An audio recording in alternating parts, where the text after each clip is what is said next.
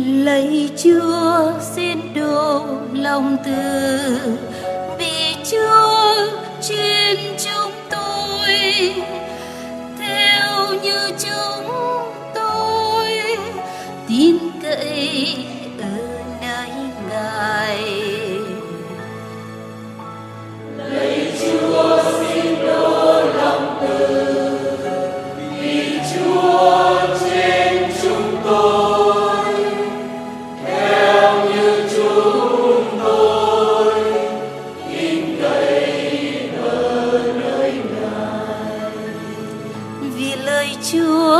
tôi đã lắng nghe, thật là lời chân chính.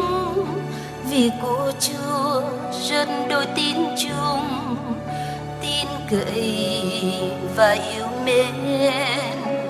Và ngài yêu yêu bên bao những điều ngài chính trực.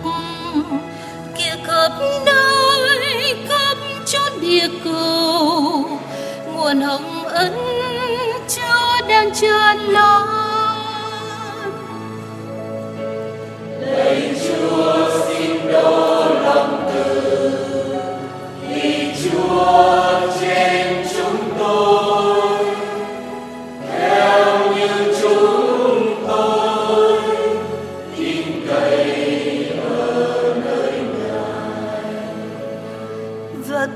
Chúa đang đưa mắt côi những kẻ sợ kinh chúa và nhìn xem cho hết những ai trông cậy vào ơn chúa để con cứu cứu những ai coi bàn tay tứ thần và sẽ nuôi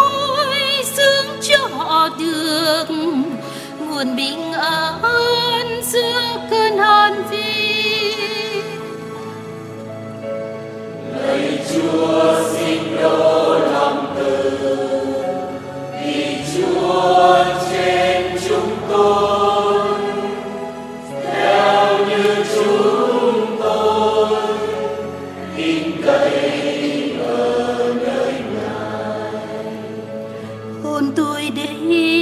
đây đang mong chúa tôi đừng phù trợ cho tôi.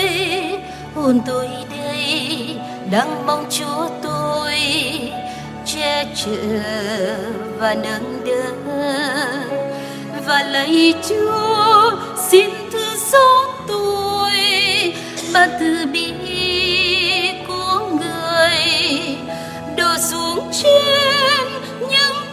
đông đây niềm thành tin chúng tôi cây chúa